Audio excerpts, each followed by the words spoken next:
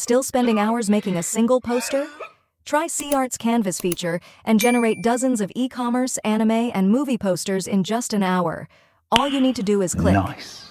First, let's take a look at the Canvas feature.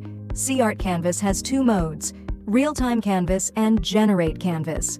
With the Real-Time Canvas, you can instantly see and tweak image results, tackling the uncontrollable aspects of AI image generation. The Generate Canvas allows you to directly use the image generation function on the canvas, enabling easy access to partial repainting, erasing, and other practical AI functions. Next, we will walk you through an e-commerce poster case to show you how SeaArt Canvas works. Step 1. Generate reference images. Open SeaArt Canvas. Select Generate Canvas, enter the prompts in the TXT2IMG box, choose 4 for image quantity, leave other options at default, and click the TXT2IMG button. The generated images will remain in Canvas. Now we can move the TXT2IMG box aside and work with the images as if they are sketches on paper.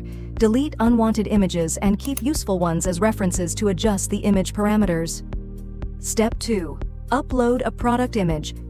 Click the Product tab on the left and select Upload Product. After uploading, the system will remove the background automatically. You can adjust the resolution on the top left corner of the canvas. Below is the prompt box where we can enter the previous prompts for the reference images. Step 3. Create the background. We have two ways to create the background. Option 1. Draw the background.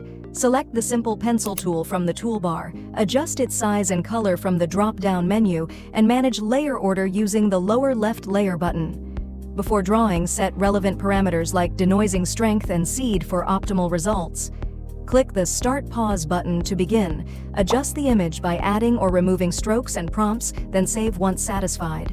Option 2. Use background merging. Instead of drawing the background, we can use a previous reference image as the background. In Generate Canvas, right-click on the image and select Save to Mine. Switch to Real-Time Canvas, click Mine, then select the saved image to add it to the canvas.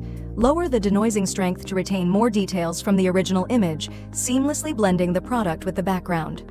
Step 4. Enhance image quality.